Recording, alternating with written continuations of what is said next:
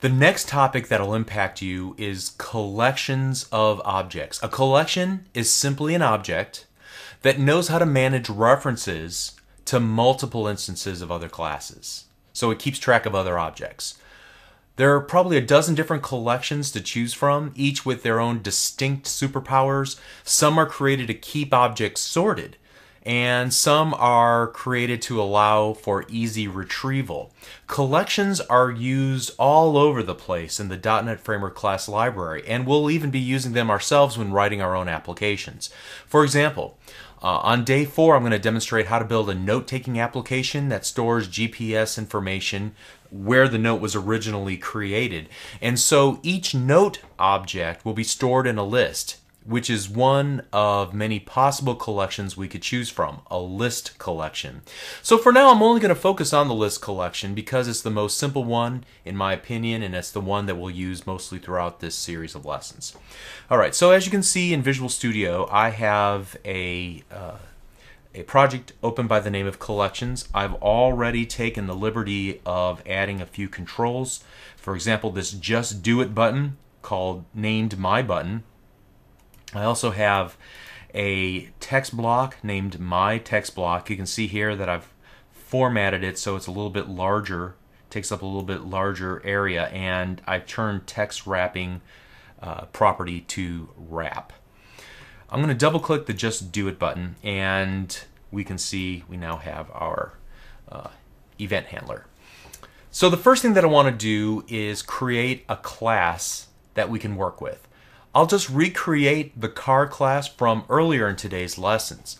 We can define a class like we did in the previous lesson inside the main page.xaml.cs. However, most developers prefer to create a new file for each new class, or at least create a file for each uh, set of related classes at the very least. This technique helps developers find what they're looking for more easily by navigating the Solution Explorer instead of having to hunt through many different files or many lines in a single file to find what they are looking for. Regardless of where you put the code, it gets compiled all the same, so that doesn't really matter.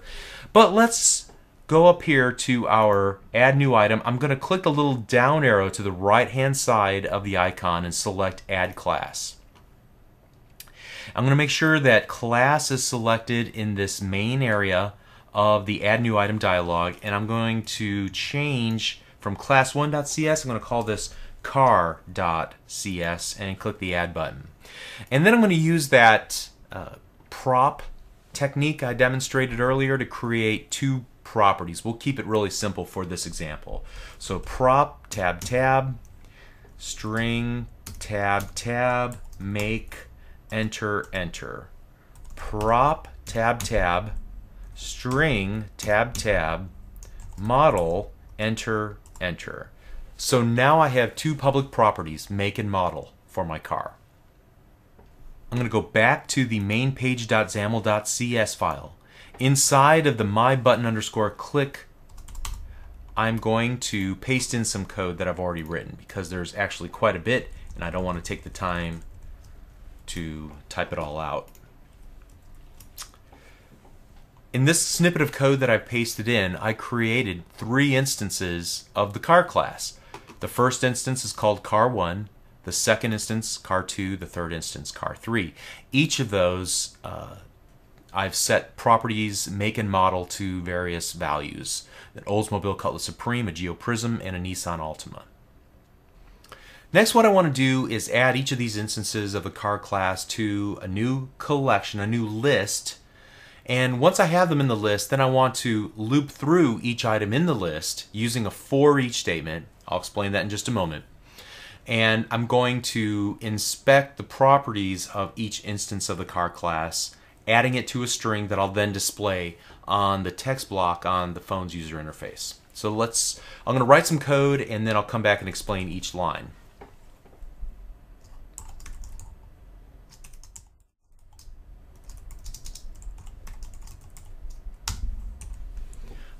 All right, let me run the application to make sure it works before I start commenting on it.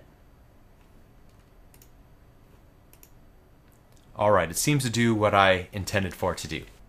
Okay, so now that I know that it works, let me take a few moments to explain the code that I wrote. We already talked about this briefly. Here we're creating three instances of the car class, and we're populating its properties with just random data. Next, I'm creating a new instance of a collection, a list collection, and you can see that I'm using the new keyword to create a new instance of that class, the list class. Now, this is not just any kind of list. This is a list that can only work with the data type car. You can see that I've defined it here using the angle brackets and the word car in between. So this is a list of type car. And this is creating a new list of type car. So note that the type of list that I've used here, uh, it is a generic list. This could lead to a larger discussion on the topic of generics, but that's really outside the scope of this series. Just memorize this basic syntax for creating a list uh, that can contain only a specific type and in this case that type would be a car class and you're going to do pretty well for yourself as you work through uh, .NET. Next, the list object has a number of methods for managing the objects that it holds a reference to. The add method, as we see here in lines 39 through 41, uh, allow us to add a reference to the list. So we are merely adding references to each of the cars which we pass in as input parameters to our list. Now our my list holds a reference to each of our three instances of the car class. Here I've defined a string called myCars, which I'm going to use to start building a string that will display ultimately in our text block on line 49. But what's after that declaration in lines 44 through 47 is a for each statement. Before we've used the for uh, loop, and this is similar in how it works. It's just different in how it uh, it loops through each of the items before we used some sort of uh, an iterator, we incremented the iterator and so on. The for each works with collections. It'll say for each item in my list, iterate through this block of code that's defined below it. So in this case, for each class of type car, and I'm going to call it car with a lower c as opposed to car with a capital C. So uh, the .NET framework understands that we're talking about the class here, and we're talking about just a variable here called car with the lowercase c. So each car in my list, the list that we've added cars to, loop through that many times in the code block below it. Each time you loop through, add the make and the model of the current car and then add a new line. Now you might be asking yourself, why were we able to leave off the word system? What didn't we use system dot environment dot new line? Well, remember our discussion previously about namespaces. If you take a look at the very top of this file, you can see that there is a using system namespace. So we don't have to type in the entire uh, name. The same thing is true for the list itself. Here I'm just using the keyword list, but the fact of the matter, if you hover your mouse cursor over it, you can see that it is a class of type system.collections.generic.list. And so we would expect then to see a using statement here, system.collections.generic. Okay, just wanted to point that out to make sure that that's obvious to you as you work through this example. Uh,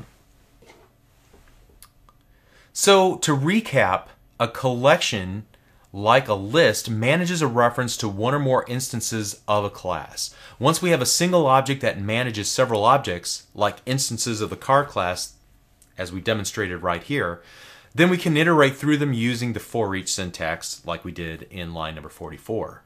You work with collections of objects often in the .NET Framework class library. In the next lesson, I'm going to show you a shortcut that some developers use, and you can see examples online and on MSDN of how to create instances of objects and collections and initialize them all in one step. It's related to what we're working on here, so we're going to keep this same project open for the next lesson. We'll see you there. Thank you.